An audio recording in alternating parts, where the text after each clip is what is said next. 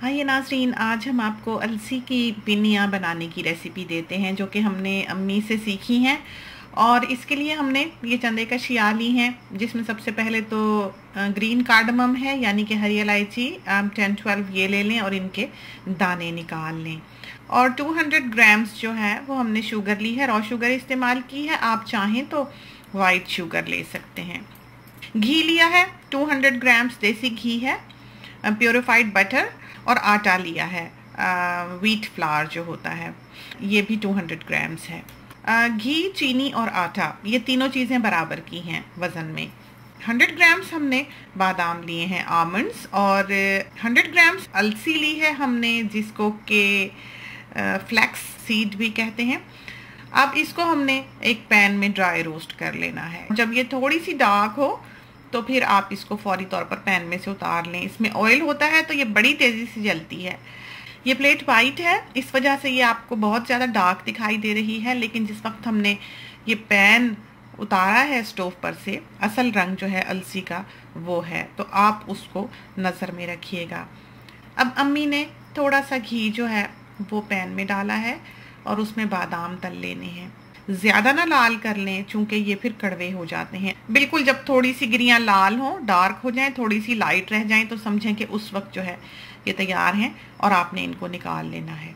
अब जो घी बचा है, उसमें हमने 200 ग्राम्स आटा जो था, वो डाल देना है और उसमें हमने बाकी का घी भी शामिल कर लेना है। घी नहीं होगा तो आप इसे भून नहीं सकते। लोग पूछते हैं कि थोड़ा डाल लें, कम डाल लें, घी मुजिर है तो ये चीज़ें बनानी घी के बगैर मुमकिन नहीं है। आपने इसको ऐसा पतला करना है आटे को, फिर ये भूना जा सकेगा, वरना आप इसको भून ही नहीं सकते। अब हमने इसमें ग्रीन कार्डमम डाल दी है। हमको दाने मुँह में आना पसंद नहीं। इस वजह से हमने अम्मी को ये इलायचियाँ खोलने नहीं थी। वरना चाहें तो थोड़ा सा क्रश करके डाल लें दानों को। और जब ये आटा बिल्कुल कढ़ी हुई चाय की तरह दिखाई देने लगे, उस वक्त आपने इसको स्टोव पर से उतारना है। अब आपने हाफ़ कप वाटर जो है, वो उसी पैन में लेना है और उसमें शुगर की चाश बनानी है। शीरा बना लेना है उसका और इसको हमने हिलाया है और पकते रहने देना है। अब हमने अलसी पीसनी है। अलसी आप गर्म नहीं पीस सकते, उसमें से तेल निकल आता है। उसको ठंडे होने देना है और फिर आपने अलसी को पीसना है।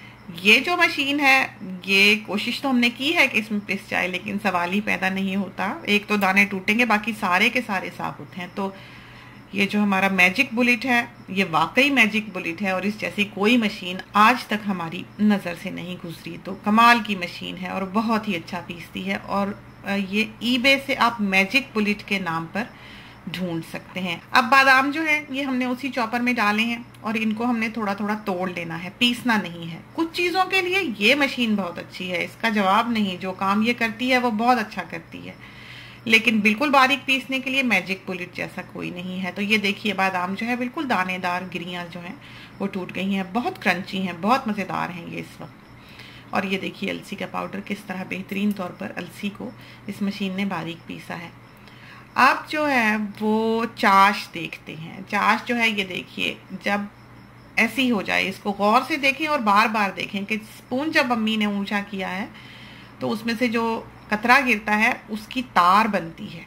उस वक्त आपने उबलते उबलते में बादाम और अलसी जो है, उसका पाउडर डाल देना है। साथ ही आटा जो आपने भूना था वो भी इसमें शामिल कर देना है। और ज़रा सा ही हिला के आपने स्टोव की आँच जो है वो बंद कर देनी है। इसको अब पकाने की ज़रूरत नहीं है। एक मिनट पकाया होगा। और फिर आँच बंद करके आपने इसको अब ठंडा होने देना है। पास ही खड़े रहना है और देखते रहना है कि जब ये उस स्टेज पर आए कि आप इसके बॉल्स बना सकें, पिनियाँ बना सकें। ठंडा हो जाएगा तो फिर नहीं बनेंगी। तो ये देखिए, जब ये यूँ ठहरने लगे, गर्म है, आप इसको बगैर ग्लव्स के हाथ अभी भी नहीं लगा सकते क्योंकि शुगर का टेम्परेचर बहुत ज़्यादा होता है। लेकिन पिनिया अगर बनानी है तो इसी वक्त ही बन सकेंगी। पुराने वक्तों में तो कहते हैं कि हाथ बिल्कुल लाल हो जाया करते थे। हमने भी बचपन में अम्मी के साथ बहुत बनाई हुई हैं। तो बड़ा मुश्किल काम था। आजकल तो ये ग्लव्स वगैरह ने ये चीज़ें इतनी आसान कर दी हैं बनाने के। मोटे ग्लव्स लें, अच्छे वाले, और आप उससे ये पिनियाँ जो हैं ये बना लें और बड़ी तेज़ी से, बड़ी अच्छी दो तीन लोग बनाएँ, ज़्यादा बनानी हो तो फिर बन सकती हैं। वरना यह है कि चाहे आप जितनी ही तेज़ी से इनको बना लें, ये सूख जाती हैं। तो ये देखिए पिनियाँ जो हैं, ये बिल्कुल तैयार हैं। सुनने में आता है कि जोड़ों वगैरह की दर्द के लिए, घुटनों के दर्द के लिए ये बहुत अच्छी हैं। ज़्यादा डिटेल का हमें इस बारे में इल्म नहीं। एक ऑथेंटिक रेसिपी थी, एक ओल्ड फ़ैशन ट्रेडिशनल रेसिपी थी। हमने सोचा कि इसको सेव कर लें। आजकल तो वैसे ही इन सीड्स वगैरह का काफ़ी नाम और शोहरा सुनने में आता है। तो ट्राई कीजिए। खुदा करे कि ये रेसिपी जो है, ये आपके लिए कारामद साबित हो और आपको बहुत पसंद आई। इसके साथ ही हमें इजाज़त दीजिए। अल्लाह हाफिज़।